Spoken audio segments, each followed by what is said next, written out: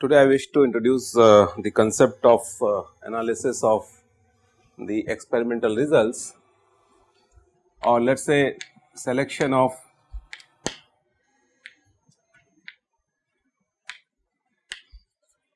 parameters and these are shear strength parameters for real life situations or for design purpose. Now until now uh, what we have discussed is that if I perform a direct shear test box test I get a typical relationship between the shear stress which is being applied. Normally shear stress is in uh, kPa or kilonewton per meter square and this is in percentage we call this as axial strain. Now typically we get a graph like this alright. Up to this point is the elastic limit. So this is the elastic limit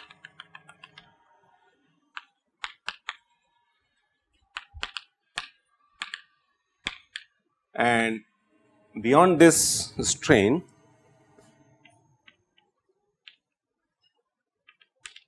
we enter into the domain of plasticity.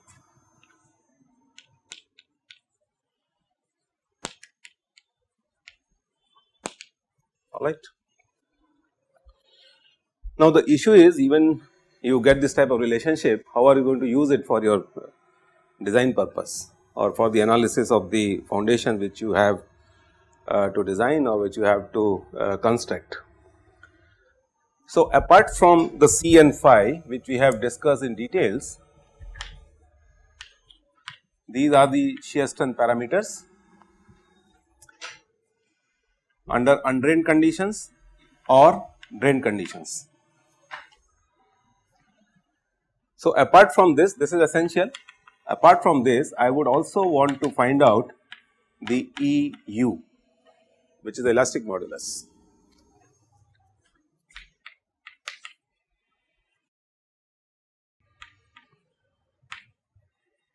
Elastic modulus of the soil. If you remember, uh, when we were discussing the consolidation settlement,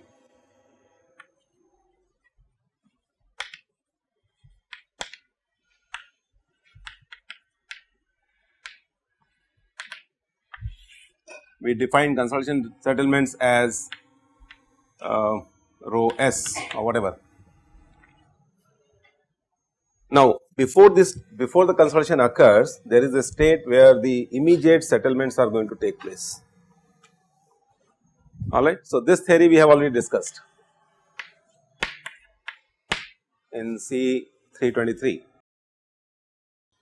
Now, this stage is followed by the stage which is elastic in nature and we call those type of settlements as immediate settlements alright. So, this becomes A, B and followed by the creep fine. Most of the settlements which the soils undergo particularly fine grained would be consolidation settlements but I am sure you must have seen the cases of the railway tracks alright. So, you have ballast system over there and ballast is holding the rails on which the vehicles are moving or the trains are moving. So, the question is why do we need to design ballast system? Mechanistic answer is to take care of the immediate settlements alright or this is a negotiator between the load which is getting transmitted from the rails which is because of the trains which are moving to the foundation system. Now, during C 333 I told you that I am not going to talk about immediate settlements in this course and that we will be discussing later on. The reason is simple, immediate settlements are defined as rho i and these are defined as B into q into 1 minus mu square multiplied by IB and divided by E. I hope you remember these terms IB is the influence factor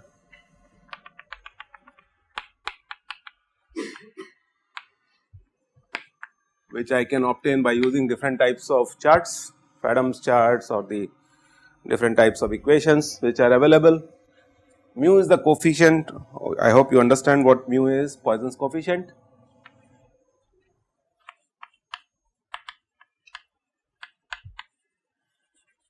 Alright. Q is the load per unit area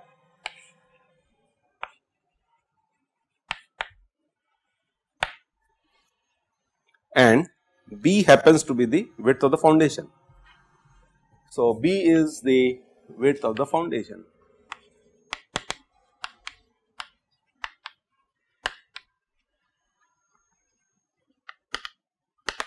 So, when you will take up this course next semester in the fourth year first year, fourth year first semester and when you will be doing a foundation analysis Suppose this is the foundation which I want to lay on the natural deposit. So, this is the soil mass and most of the time these foundations would be strip foundations. So, this is a sort of a strip foundation.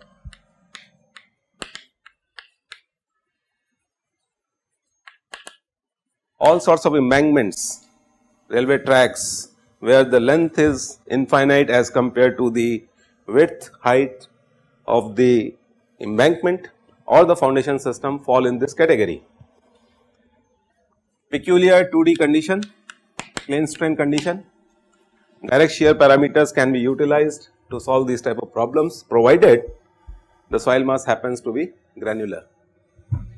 And on the granular system consolidation settlement is not going to prevail immediate settlements will prevail. We have to only define the term B, this is the B which is the width of the width of the foundation system. We call this as L which tends to infinity. So, most of the foundations which are being done for the fencings alright uh, where the lengths are again very high as compared to width uh, they fall under 2D category.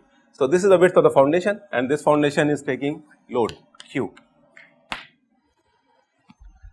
Now, the question is how I am going to get the value of E? E is the elastic coefficient or elastic modulus.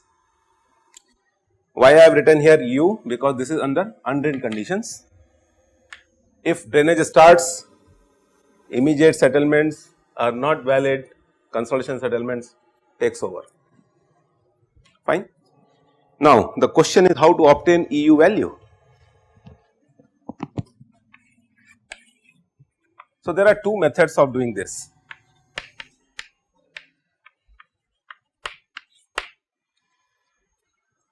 One of the methods is what we know call as a tangent modulus.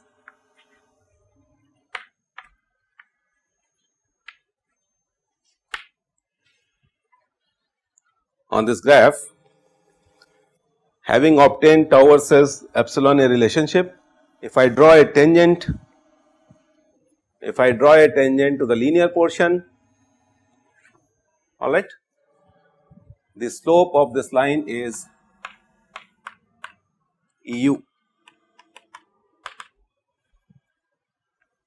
That is why the name is tangent modulus. So, the graph which you have got draw the tangent to the initial portion, the slope of this line is tangent modulus EU. Now, many times what happens is uh, there could be if I zoom this portion of the curve what you will observe is that there could be some you know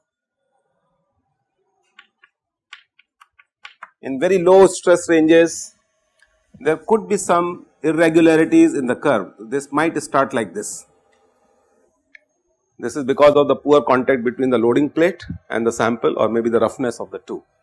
So, normally what we do is we apply a correction we ignore this portion of the graph.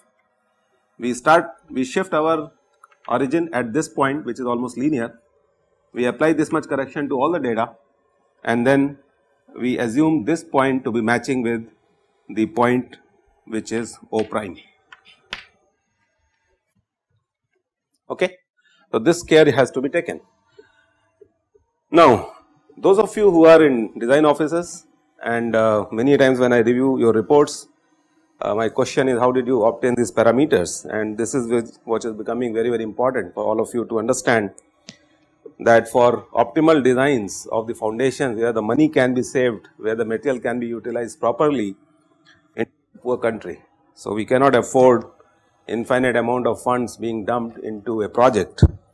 So, the question is this is where the judgment becomes very important. Now, judgment comes uh, when you have this type of relationship and what I define as the factor of safety parameter.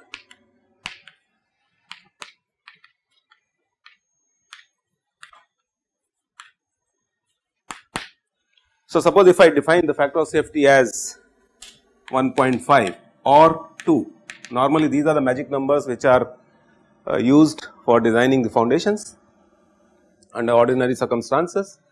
So, what it indicates is the point where I am getting the peak value alright I will reduce the peak by 1 and half 1.5 or 2.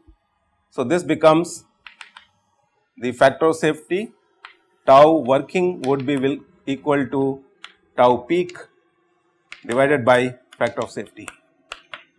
So, this becomes my stress of interest. I will mark this on the graph. So, this is the safe value of the shear stress which I am going to consider for my analysis. So, this is corresponding to tau w by applying factor safety. Now, if I join the origin with this point okay, and if I obtain the slope this is also EU, but this is what is defined as the secant modulus.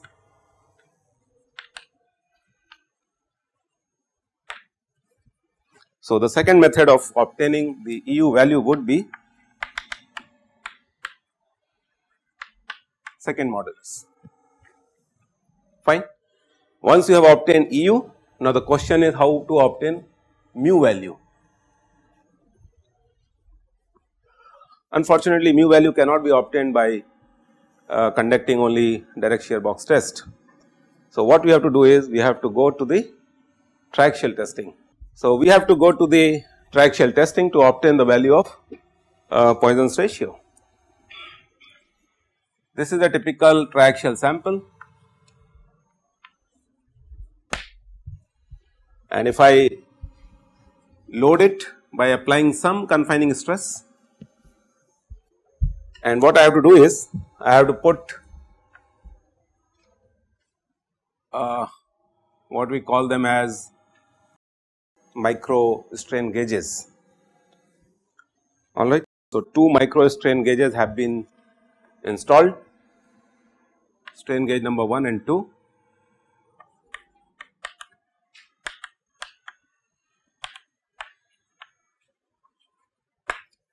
And ultimately these strain gauges are connected to a Wheatstone bridge.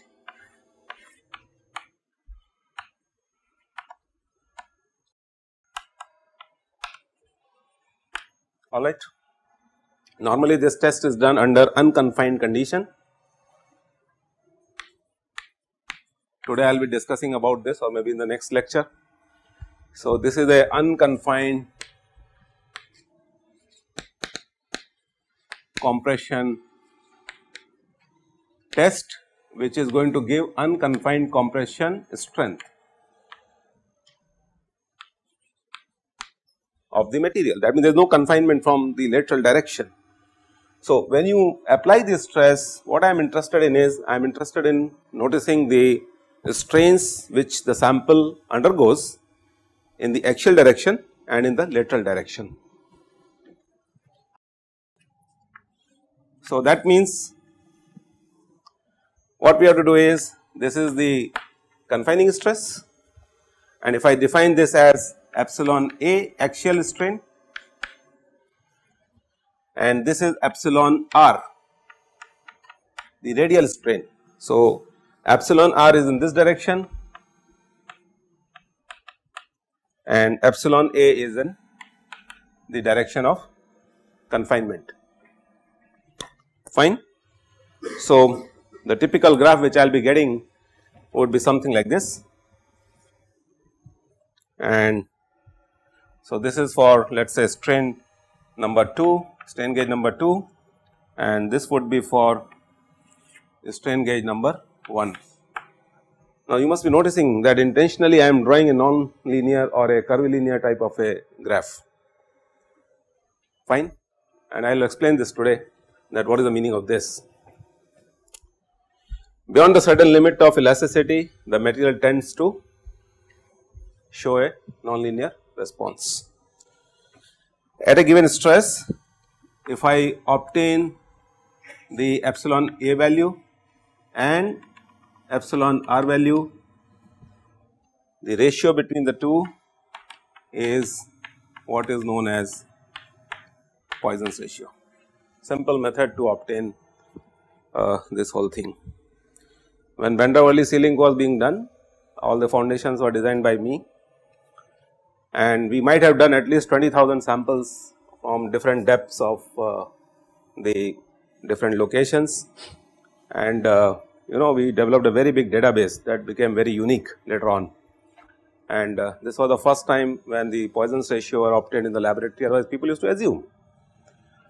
Now it so happens that typically for clays particularly the saturated clays this value is 0.5 is this okay what is the significance of this? It is a magic number.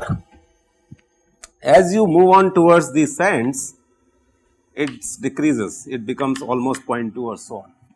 So, this is another scheme of classification of the material, better engineered way of classifying the formations.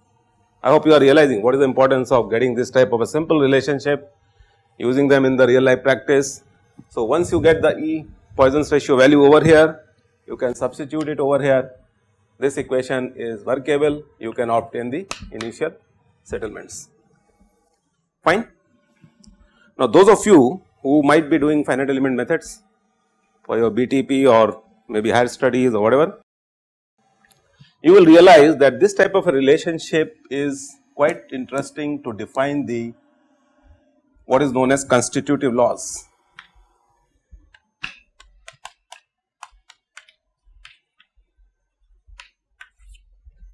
And constitutive laws are nothing but one of them is here. Uh, we write as tau is a function of epsilon. And I hope you understand that function is nothing but elastic modulus multiplied by epsilon.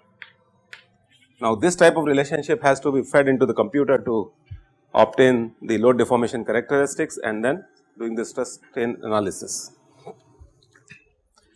Now, one more thing which I wanted to discuss in details is about the curvilinear behavior of the graph which we get.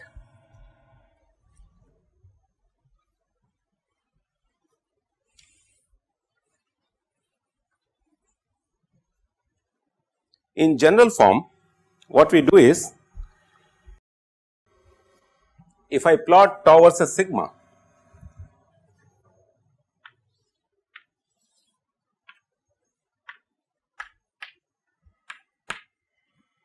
I will be getting a failure envelope and this failure envelope would be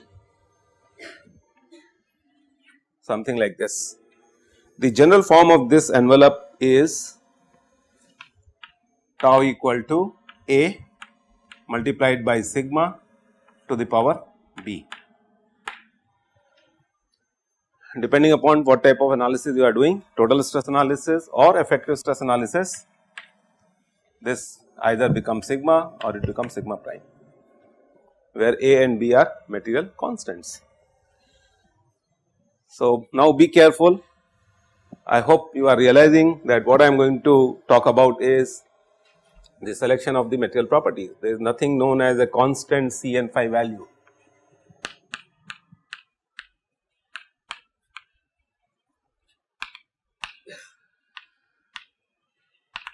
So, C and phi do not remain constant.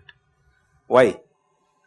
And they depend upon the stress range in which you are working. So, C and phi are strongly dependent upon the range of stress. What it indicates? If I am working in very very small ranges of confinement, this is valid, alright. So, C is 0 let us say phi equal to phi whatever you have got the slope of this line. But as the confinement increases I hope you are realizing the nature of the graph is nonlinear and within this range of normal stress confinement what is happening is if you draw a tangent over here now this is what is going to be the C value and phi 1 value C 1 phi 1. What happens subsequently? As you move on with the high stresses you know a situation comes where C vanishes sorry phi vanishes and C prevails only. Are you realizing this important thing? So, the issue is there is a transformation from a pure frictional material to a pure cohesive material. Did you understand this?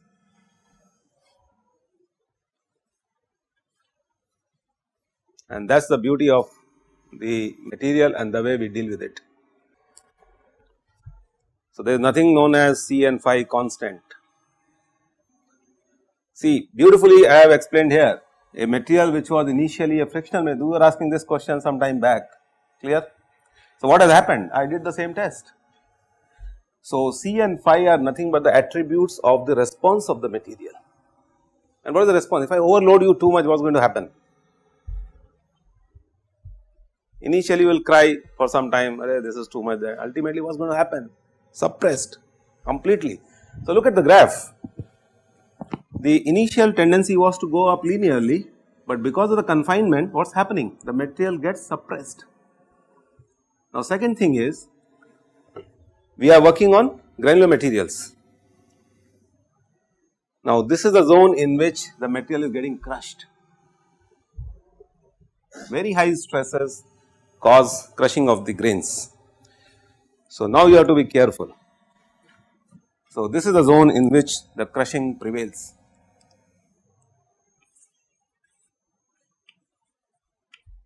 Crushing of what? Crushing of particles or grains. Alright. So, you have to be careful. If I am designing an embankment, okay. I know what is the amount of stress which is going to come on the contact between the embankment and the soil mass. Now this becomes my stress range in which I will be selecting the parameters.